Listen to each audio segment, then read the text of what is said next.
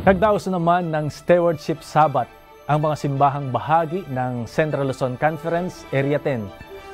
Sa kanilang programa, muling pinaalala ang kagandahan at kahalagahan ng pagkakaroon ng masaya at tapat na paglilingkod bilang mga Kristiyanong katiwala ng Diyos. Nagbabalik si Ina Sintos para sa report.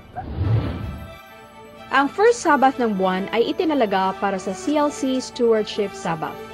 Noong November 9, 2019, nagkaroon ng Area 10 ng Stewardship Sabbath na ginanap sa iba't ibang Adventist Church sa Area 10. Layunin ng programa ay ang papanariwain ang mga kapatid tungkol sa pagiging mabuti at tapat na katiwala.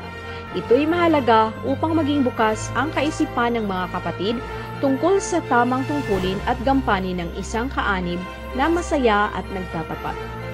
Ang mga naging tagapagsalita sa nasabing pagtitipon ay ang mga direktor ng komperensya ng Central Luzon. Sa South Taguig District naman, ito'y ginanap sa Iglesia ng Rooftop at Western Bikutan na pinangunahan nila Pastor Jerry Stabilio at Pastor Laudimir Gatos. Kasama sa programa ay ang mga lectures at open forum.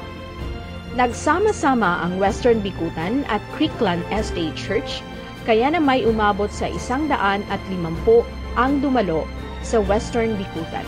Habang doon sa rooftop naman ay nagsama-sama ang mga miyembro ng rooftop SDA Church, Central Bikutan SDA Church, at New Lower Bikutan SDA Church na umabot sa dalawang daan at tatumpo. Naway mapanatiling sariwa ang mga natutunan ng mga kapatiran upang patuloy tayong maging tapat na katiwala ng Diyos.